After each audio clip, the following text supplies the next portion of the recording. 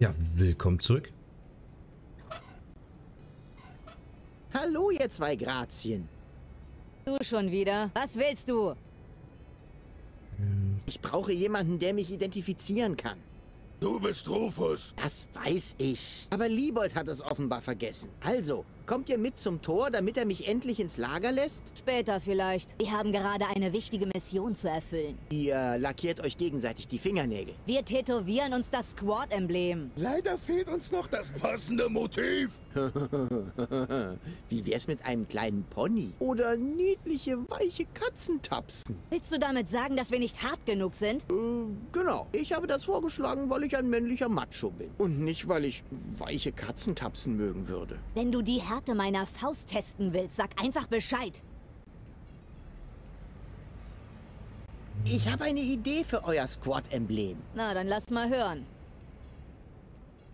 Ähm, Wie wär's mit einem Wischmob? Weil wir damit das Blut und die Eingeweide unserer Feinde aufwischen, nicht wahr? geil. Nicht doch, Private. Er will uns nur beleidigen. Aber wenn er so weitermacht, wird er sich noch wünschen, einen Wischmob dabei zu haben. Wie wär's mit einem Einhorn? Ja. Private, Äh, Sagte ich ja? Ich meinte natürlich nein. du hast es gehört. Aber wenn du kurz wartest, bis ich die Brechstange finde, verpasse ich dir gerne ein Horn. Wie wär's mit einem hübschen Blümchen? Blümchen? Was denn? Frauen mögen Blumen. Du findest das witzig, oder? Mal Ja. gucken, ob du immer noch lachst, wenn ich dir dein Nasenbein in die Ohren stopfe. Man kann es euch Frauen einfach nicht recht machen. Wie wär's mit einem Prinzessinnenkrönchen? Das ist ja sowas von Beleidigend, genau. Beleidi beleidigend. Und wie? Er wird bluten für diesen Affront. Wie wär's mit einem Haifisch? Die Idee finde ich nicht schlecht. Meinst du nicht, dass ich mit einem Haifisch zu dick aussehen könnte? Das käme auf die Farbe an. Wie wär's mit Altrosa? Aber dann passt er nicht mehr zu den Schuhen. Mit Altrosa. Ihr findet schon was Passendes. Wenn dir noch etwas einfällt, behalte es für dich. Es sei denn, es ist wirklich gut. Oh, so geht es nicht gut. Doch nicht schon wieder seine Milchallergie. Richte ihm aus, dass ich diesmal nicht die Haare halten werde. Ja, das macht echt keinen Spaß. Aber darum geht's auch gar nicht. Ich glaube, er ist deprimiert. Wegen der Planetensprengung? Keine Ahnung. Er murmelt nur noch so stumpf vor sich hin. Er braucht sich keine Sorgen zu machen. Der neue General hat einen Plan. Ich habe auch einen Plan. Nun, dann nehme ich alles zurück. Er muss sich doch Sorgen machen. Dann will ich mal... Tun Na gut, ich habe nicht genug... besser. Die Wollen brauchen noch ein Wappen. Ich habe das richtige Motiv für eure Einheit gefunden. Hier. Hey, das ist gar nicht schlecht. Das sieht irgendwie heftig aus. Das kann man wohl sagen. Ein heftiger Schmetterling, ihr Weichkuchen. Was auch immer es ist. Du hast das passende Motiv für unser Squad-Emblem gefunden. Es kann also losgehen. Sicher, dass du zusehen willst? So eine Tätowierung ist nichts für sanfte Gemüter. Sanfte Gemüter? Ich glaub ja wohl, es hackt. Wie du willst. Sanfte Gemüter. Puh, ich glaub's ja nicht. Ich habe mir schon mit heißen Nadeln in Körperteile gestochen, von denen...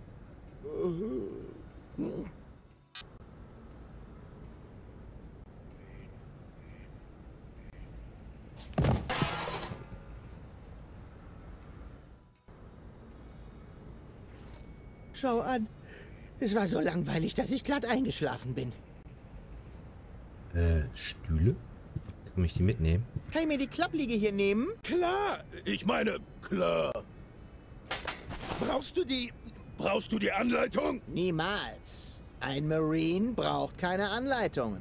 Dann eben, äh, dann eben nicht. Gehen wir mal rein, gucken uns das so weit drin an.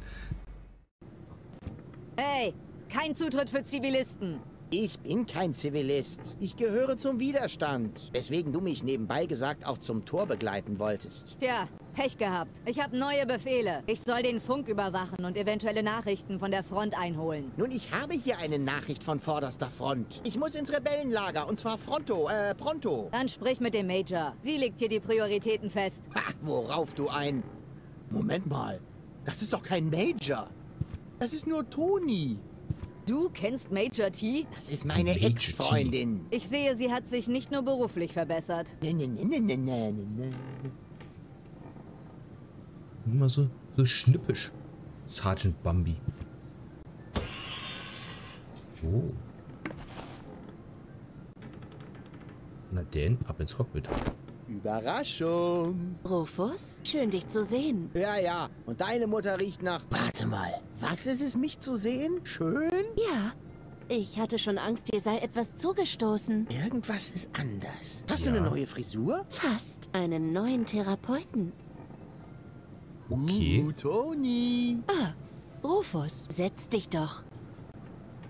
Ich muss mit diesem neuen General sprechen. Kannst du mich durchs Tor bringen? Ich könnte, aber ich werde nicht. Ich muss erst meine Meditationsübung abschließen. Bitte was? Heißt das, du willst hier einfach nur rumsitzen? Möglicherweise leitet der Organon gerade jetzt die Sprengung des Planeten ein. Solange das letzte Hochboot noch am Aufstiegszoll vor Anker liegt? Unwahrscheinlich. Unwahrscheinlich, unwahrscheinlich. Sagst du das auch noch, wenn sich die ganze Umgebung hier plötzlich in ein flammendes Fiasko verwandelt? Oh, das war aber unwahrscheinlich. Du meinst wie du damals? Bei deinem Versuch, Blei in Blechblasinstrumente zu verwandeln? Das war erstens was anderes und zweitens hätte es funktioniert, wenn ich das hohe Fiss getroffen hätte. Ach, Rufus, entspann dich einfach. Wir haben hier alles im Griff. Der General hat einen Plan.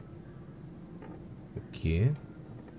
Der General hat also einen Plan. Was soll denn das für ein Plan sein, so ganz ohne mich? Das ist geheim. Aber ich bin der Anführer. Du warst der Anführer. Wir haben jetzt einen neuen General. Neuer General, neuer Schmeneral. Ihr habt ja nicht einmal mehr einen Krieg. Ich meine, wo ist die ganze Action? Die Explosionen, die Verstümmelten, die brennenden Häuschen. Wie gesagt, wir haben jetzt einen neuen General. Okay. Was hat es mit diesem geheimen Plan auf sich? Das ist geheim. Du erwartest doch nicht, dass ich das einfach so schlucke. Ich habe damals auch nicht erwartet, dass du den ganzen Liter Farbverdünner schluckst. Wo doch jeder weiß, dass das Zeug direkt das Gehirn angreift. ja, das war cool. Beim Widerstand scheint sich ja einiges geändert zu haben. Danke. Das war kein Kompliment. Hier ist alles so Organisiert? langweilig, pupsig, dröge. Nun, das liegt wohl daran, dass wir den Organon aus Portafisco vertrieben haben. Wir haben neues Equipment, neue Befehlsstrukturen. Wie bitte? Ich verstehe dich so schlecht. Ein mechanischer Bart rauscht. Wie kannst du nur so ruhig da sitzen? Die Welt geht unter. Heißt das, du hast keinen deiner berühmten Pläne mehr auf Lager? Natürlich habe ich einen Plan. Aber dafür brauche ich, naja, Hm, Hilfe? ein Mindestmaß an Unterstützung. Immerhin bin ich es, der euch hier die breit gesessenen Hinterteile rettet. Nun, vielen Dank dafür. Aber du brauchst uns nicht zu retten. Wir haben jetzt einen eigenen Plan. Wenn du uns helfen willst, dann setz dich irgendwo hin und fass nichts an, was blinkt. Oder leicht entflammbar ist. Oder gelb. Ach, weißt du was? Fass am besten gar nichts an. Okay. Du hast jetzt also einen neuen Therapeuten. Ja, und er ist wirklich gut. Ich habe zum Beispiel nicht mehr diesen wiederkehrenden Albtraum, in dem mich das Gnu verfolgt, während sich um mich herum die Wände auflösen, bis schließlich das ganze Haus über mir zusammenstürzt. Ja, das war ein denkwürdiger Tag. Und du musst zugeben, dass die Pforte danach tatsächlich nie wieder gequietscht hat. Ja. Ich weiß schon, wie ich die alte Toni aus der Reserve locken kann. Gib dir keine Mühe. Du solltest mich wirklich besser kennen. Ich habe mir noch nie Mühe gegeben. Weißt du noch, wie ich die Urne deiner Großmutter als Puddingtopf verwendet habe? Ich bin mir sicher, du hattest deine Gründe. Ja, aber die Sache ist die, das war gar kein Pudding. Das ist doch mal endlich eine plausible Antwort auf die Frage, woher dieser Geruch kam. Danke für diese Offenbarung.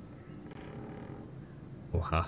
Weißt du noch, wie ich Mr. Wuffel das Fliegen beibringen wollte? Ja, das weiß ich noch. Und ich entschuldige mich, falls ich damals unangemessen reagiert habe. Ich hatte weder meine Fäuste noch den Schlagring unter Kontrolle. Aber das Beste weißt du ja noch gar nicht. Eine Woche später hat es doch noch geklappt. Und die Geschichte, dass Mr. Wuffel von einem abstürzenden Wetterballon getroffen wurde, stimmt auch nur zur Hälfte.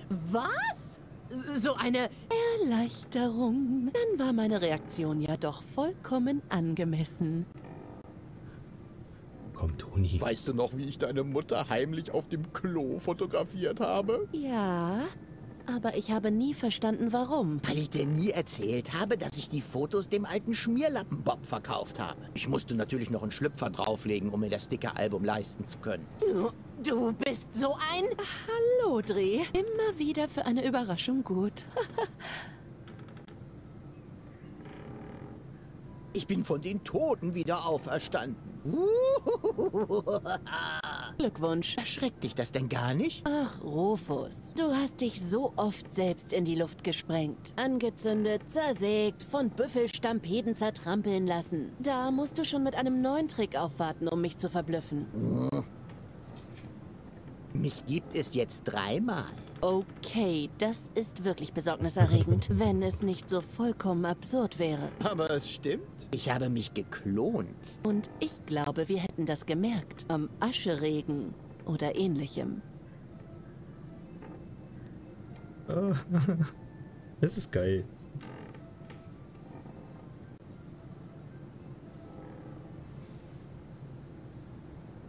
Ach, ich geb's auf. Wirklich? Erinnere mich daran, dass ich meinem Therapeuten einen Obstkorb schicke. Okay.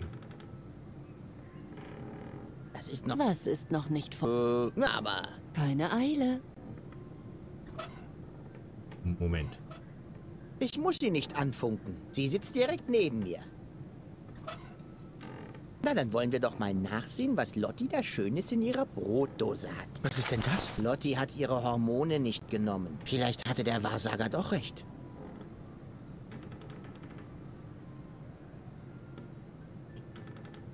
Okay. Hormone.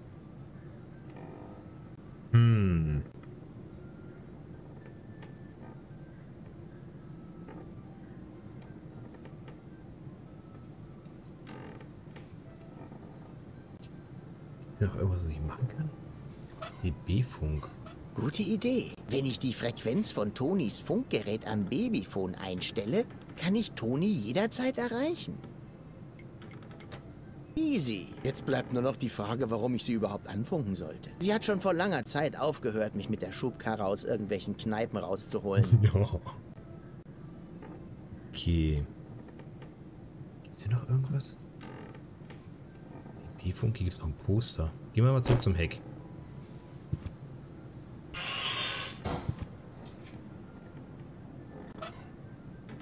Lappliege. Mhm.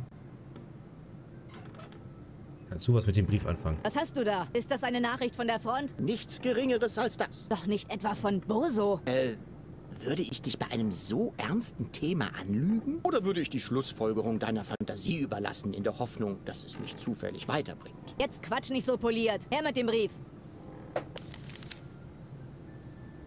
Mein liebstes Rehlein. Hm. Sicher, dass der Brief für mich ist? Bambi. Rehlein, ergibt doch Sinn. Manche Leute werden nun mal zu Poeten, wenn sie tödlich verwundet sind. Was? Oh, sorry, ich wollte nichts vorwegnehmen. Warte mal. Liebstes Rehlein, ähm, ich wünschte, du wärst jetzt bei mir, bla bla bla. Genauer gesagt, ich bin auf eine Organon-Landmine getreten. Oh nein. Oso, geht es ihm gut? Ja. Lebt er noch? Sag schon! Oder muss ich dir die Infos in Form von Hirngewebe einzeln aus der Nase ziehen? Hey, hey, immer mit der Ruhe. Ja? Kein Grund, gleich aggressiv zu werden. Ich bin doch nur der Briefträger. Oso ist bei seiner Familie. Am besten, du machst dich sofort auf den Weg. Warte, hier steht noch was. Nimm dich vor dem Briefträger in Acht. Ach, das Kleingedruckte ist nicht so wichtig. Na los, du verlierst wertvolle Zeit. Stimmt. Ich muss zu ihm. Halte durch, Boso. Ich komme. Jetzt ist Bambina wieder. Das war einfach. Und ich Ein musste nicht mal lügen. Jetzt neu. Der verbesserte Rufus. Vergessen Sie den herkömmlichen Rufus. Ich habe jetzt. Schade. Wo ist das witzig? Gehen wir nochmal ins Cockpit. Wir haben jetzt die Tauschfunktion. Ähm. Machen wir Inventar. Leer, oder? Hm. Ah. Der Klappstuhl da unten? Nee. Aber wir könnten jetzt mit... Wir haben jetzt Grünfuß hier.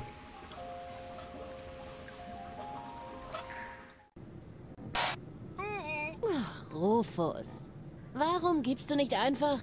Moment mal. Ein Rufus? Zwei Rufusse?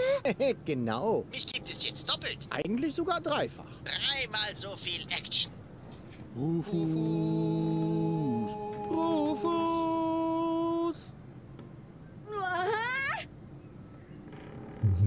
Okay, Toni. Ganz ruhig.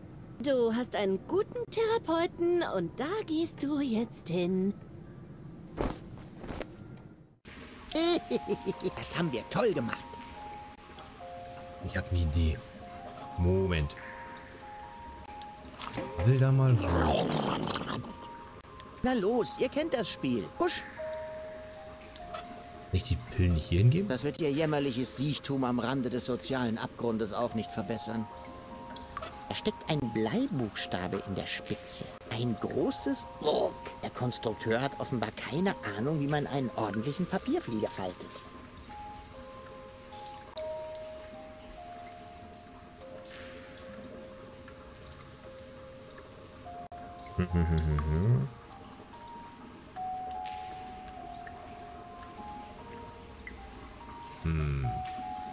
Ähm, könntet ihr vielleicht eine Räuberleiter für mich machen? Aber Herr Rufus! Aber Herr Rufus, Sir. Schon klar, mein Fehler. Vergesst es einfach. Ja, ich möchte aber hier hin. Wahrscheinlich gibt es hier eine Kiste, wo sich der andere Rufus verstecken kann, oder? Ähm, hey, Rotzis! Könntet ihr vielleicht eine Räuberleiter für mich machen? Aber Herr Rufus! Aber Herr Rufus, Sir. Schon klar, mein Fehler. Vergesst es einfach.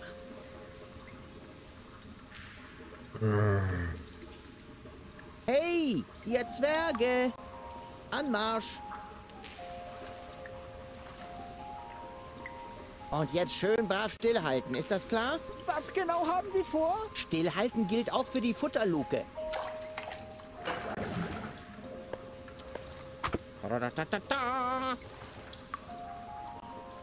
Okay, was liegt jetzt da drin?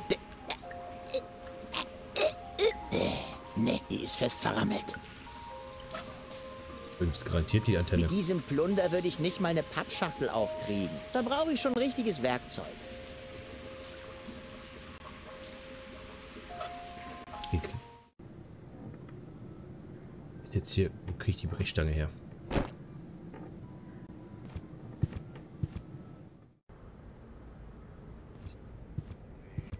Rufus. Gib, gib, gib, gib, Kann ich das Brecheisen haben? Na klar. Ich meine, ja klar, Kumpel. Nimm ruhig. Wozu brauchtest du das überhaupt? Als Schuhlöffel. Hm, verstehe. Hey, Lotti, kannst du jetzt zum Tor kommen, um mich zu identifizieren? Nein, das... Das geht jetzt nicht. Ich muss warten, bis mein Tattoo abgeschwollen ist. Ja, aber so Hansen... Ich sagte nein. Aber jetzt kann ich das Brecheisen Captain Kali hier vorne geben. Jetzt kann er mit dem Brecheisen die Kiste öffnen. Bananen. Naja, hätte schlimmer kommen können. Wenn ich die Quantentheorie richtig verstanden habe, bestand eine 50-prozentige Chance, dass ich eine tote Katze finde. Okay. Gehen wir jetzt wieder runter. Das war mindestens eine 10.0. Okay, Leute, und wir sehen uns in der nächsten Folge wieder. Bis denn. Ciao.